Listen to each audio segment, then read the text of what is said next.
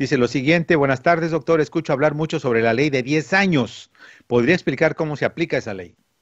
Mira, no existe tal ley llamada la, ley de 10 años y esto a veces crea un poco de confusión porque llega mucha gente aquí a la oficina y me dice, ya yo llevo 10 años aquí en los Estados Unidos, deme mi residencia. No funciona así.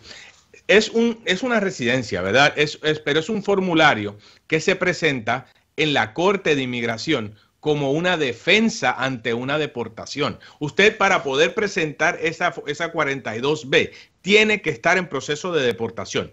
Tiene que poder demostrar varios elementos bien importantes. Que tiene 10 años de presencia física continua e ininterrumpida aquí en los Estados Unidos. Y eso cuesta a veces demostrarlo.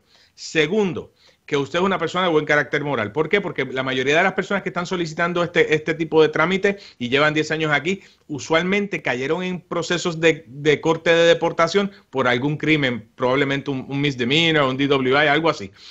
Tercero, que usted tiene un familiar en Estados Unidos que es ciudadano o residente, que usted tiene un hijo, padre o esposo que es ciudadano o residente de los Estados Unidos y que ese ciudadano de los Estados Unidos y aquí está el problema del caso, tiene que demostrar que está sufriendo, que, tiene un sufrimiento extremo y, e inusual. Extremo e inusual. Dice extreme and unusual hardship. Déjeme decirle que ese es el estándar o el requisito más fuerte en la ley de inmigración.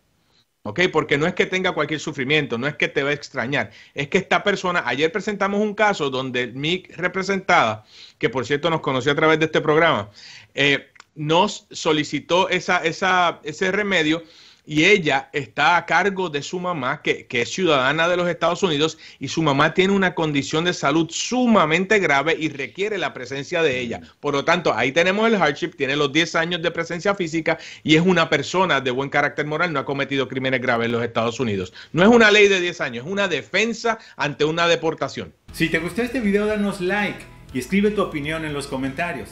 No olvides hacer clic en el botón de suscribirte y además activar la campanita para que YouTube te notifique cuando lancemos nuevos videos. Nos vemos la próxima semana aquí en la red hispana con información y recursos gratuitos para empoderar, educar e inspirar a nuestra comunidad.